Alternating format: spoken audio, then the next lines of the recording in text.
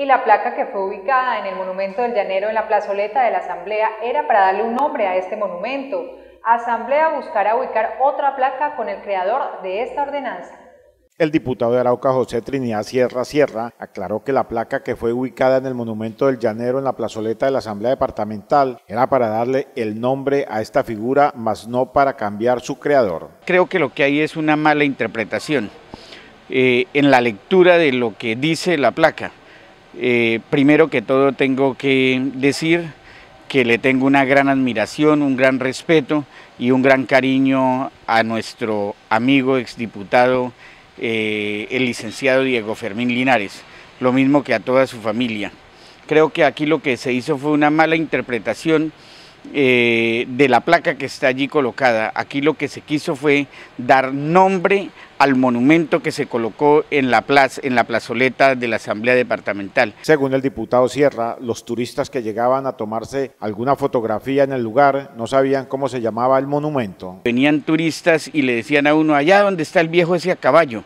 No, eso no es ningún viejo al caballo, eso es un monumento que se hizo y nosotros con la resolución 028 del 2016 le colocamos el nombre al monumento al caballo.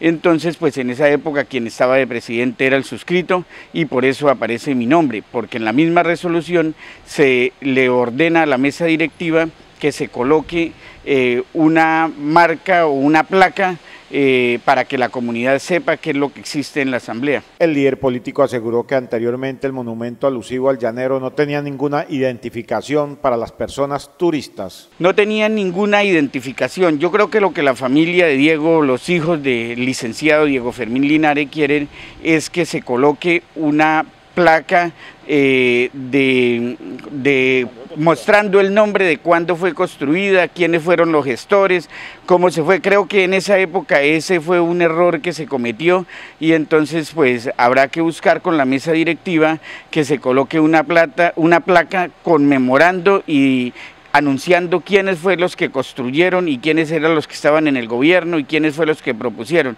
Ese es otro es otra cosa diferente y por lo que totalmente de acuerdo, yo creo que eh, se debe hacer una proposición en la Asamblea Departamental donde se busquen los recursos para hacer la placa y hacerle un homenaje a este gran hijo del departamento de Arauca que es Diego Fermín Linares Castejón. Para el diputado José Trinidad Sierra, nunca se hizo con mala intención de darle un nombre al monumento del llanero. Si ustedes miran la placa y miran la resolución, fue exclusivamente darle nombre al monumento de, eh, que se encuentra en la plazoleta de la Asamblea, monumento al llanero, como así lo quisimos llamar eh, por la Asamblea Departamental. La Asamblea Departamental de Arauca buscará la forma de ubicarle una placa con el nombre del creador de la ordenanza, que fue el exdiputado Diego Fermín Linares Castejón.